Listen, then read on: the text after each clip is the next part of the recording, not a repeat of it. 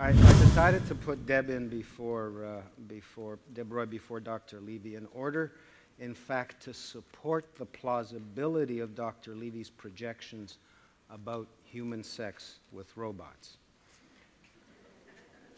I know that may strike you a little strange, but that's because Dr. Roy wants to bring, well, he wants to equip robots with conversational language. And I would think you'd have to have a pretty good grip of conversational language if you're going to be a good robo gigolo. but what, what actually caught my eye in Deb's case is that in support of his work as a student of language who wants to build machines that use and can interact with language in a fluid and human way, in the service of that, uh, he recorded minute by minute the bulk of his son's life from birth through to the age of three. And that in turn reminded me that I'd read somewhere that you could actually record an entire person's life, the entirety of a person's life, on one teraflop of data storage. And I think that's stunning. You know, can you imagine each of us carrying a total record of everything that we will have done and thought over the course of a lifetime. So, Deb, can you come out here and explain to us? Yeah? You're not reversing that. Well, in the book, you see it's Levy first and then Deb Roy, but.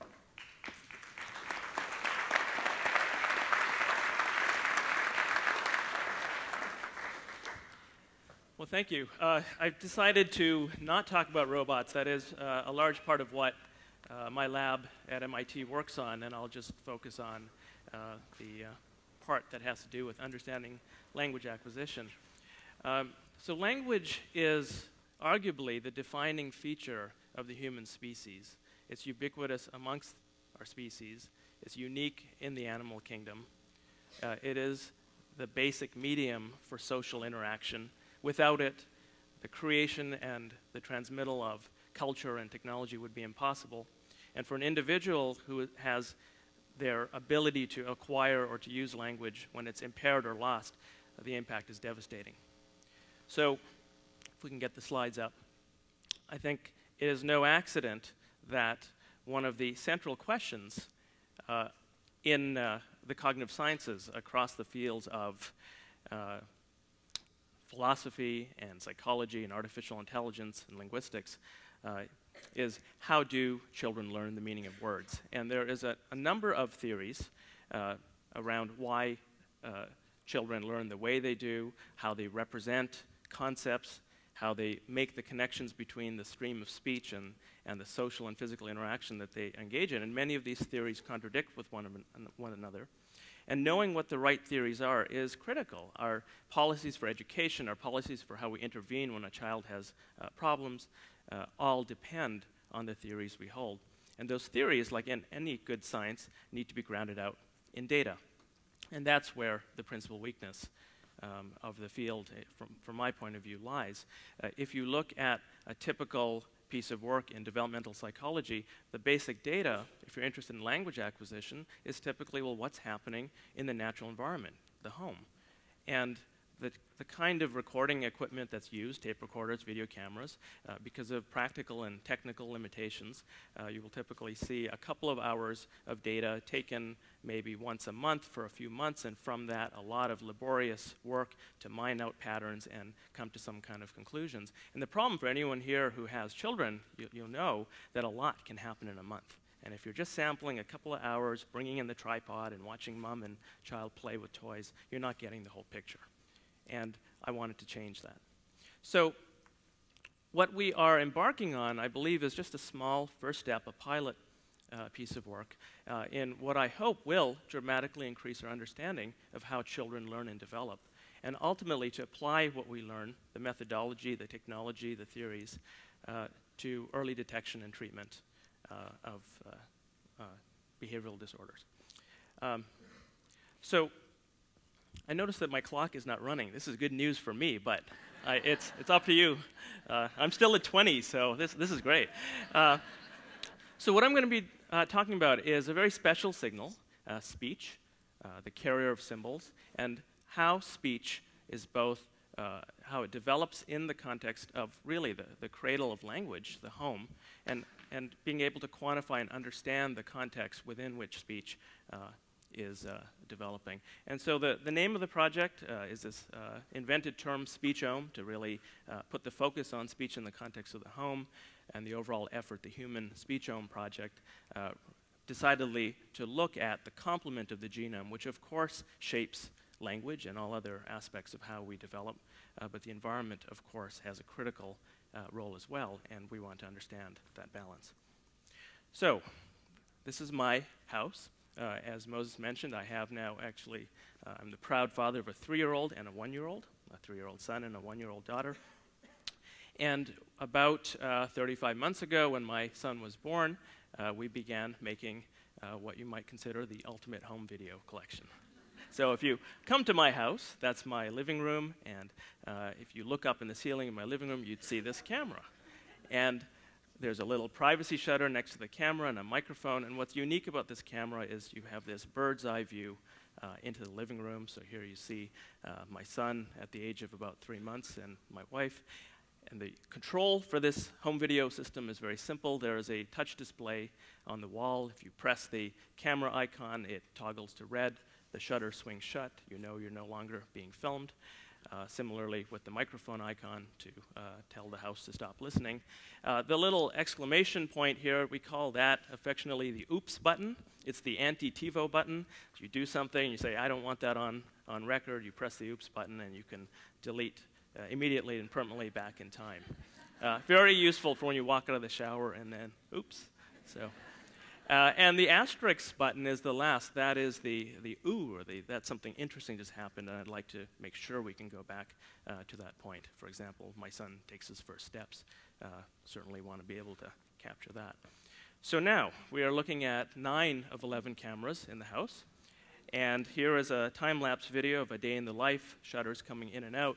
If you look at this center left image, there's the crib. So we, you can see my son going in and out of naps, and as the sun sets and we go to incandescent orange light of evening, and eventually it's lights out at home.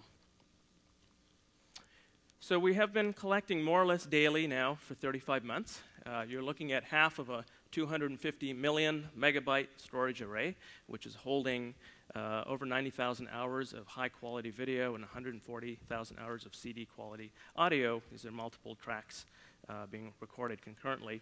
And so together, uh, what you're looking at is, by several orders of magnitude, the most comprehensive uh, collection of one child's development from birth to almost three years. In July will be three years ever made. So the first question is, how do you even navigate this kind of data set? A quarter of a million hours. Uh, and just to tell you where we're going to go in the end, this is just a pilot, and we are getting ready to expand the effort. So we've got a lot of data. We will have millions of hours. Um, if you're a speech scientist, you would immediately recognize this image. It's called a spectrogram. Uh, this is a standard method for visualizing the content of an audio recording. Uh, experts can learn how to read spectrograms as if it's text. They could tell you what the person's saying. Uh, someone with just an hour of training will learn that these striation patterns indicate presence of speech. Very useful visualization technique. We want to do the same for video. We've got 90,000 hours, but we don't care about all of it. We care about where there's human activity and we want to understand certain interaction patterns. So as my wife and I prepare a meal in the kitchen, a, a structured activity which may be uh, vital to understand for language development, we can expose the movement patterns. And now, as you'll see in this visualization, uh, as my wife and I traverse through the space of the kitchen and we traverse time, so we're moving through space and time, we're leaving these trails. And you'll see my, I'm holding two plates there, and so we call these space-time worms. I'm leaving one, and of course my wife is leaving one. This is maybe the only excuse I ever have to refer to my wife as a worm. So there she goes. And what, of course, there is a certain aesthetic quality to this image, I think many people appreciate, but there's also a functional use. So this is a screenshot from a piece of software called Total Recall that we developed. Uh, you're looking now at about 10 hours uh, 10 minutes of media, three cameras, and you're all now able to read this visual language of space-time worms. So there's one person moving out of a room, walking into another, uh, and a spectrogram showing where there's speech and not. The power of this becomes clear as you zoom out. We're now looking at a day of data, 24 channels. Uh, and if you looked at this on a high resolution screen, you could make out the space-time worms and read off of this immediately where the action is, how people are flowing through the house, when there is speech, when there's various kinds of activity. That's three months. So now let me drill down into just a tiny sample of a typical interaction at home. So there's my son leaning over this big blue ball. I'm sitting sipping coffee. What's that over there? Over there, that ball. Game ball. Oh. He's approaching his second birthday. He said green ball. If we were to now imagine there's a spotlight coming out of my head indicating where I'm attending and one out of his, we're not even, we don't even have the same perspective, right? We're situated differently. And now we have the speech. Imagine it's transcribed. I say, What's over there? And I'm pointing past my son. He's looking at me. Then we have this moment, magic moment of communication called joint attention. We're both jointly attending to that ball.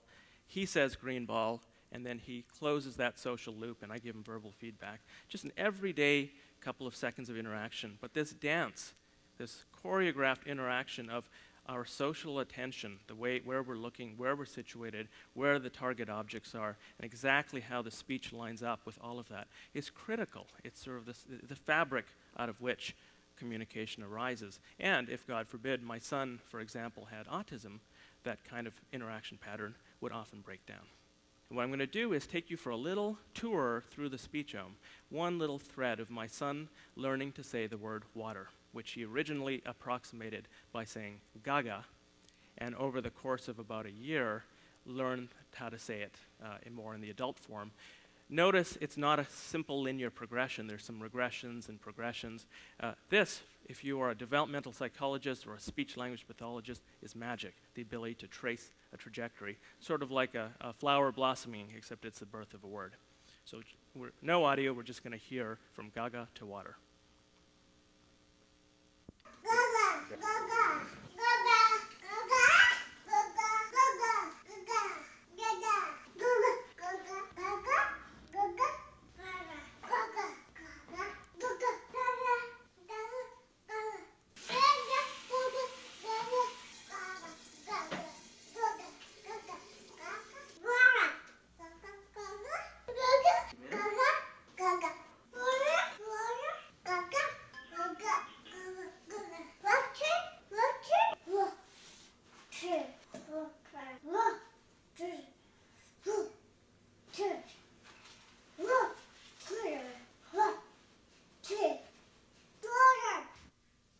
Pretty cool, huh?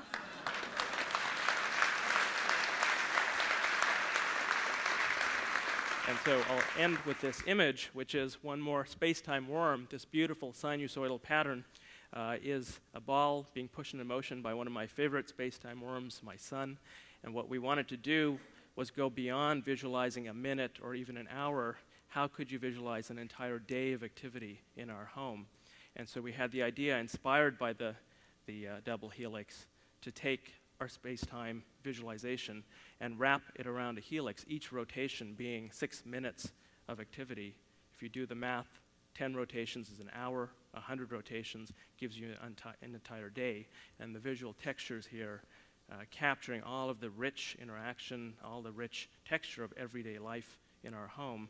And what this image depicts for me, it really is a symbol of what these new kinds of technologies are enabling, which is really a new view into ourselves as individuals, as social networks, uh, the most important ones uh, giving rise, uh, being uh, uh, emerging in the home, and ultimately as a species.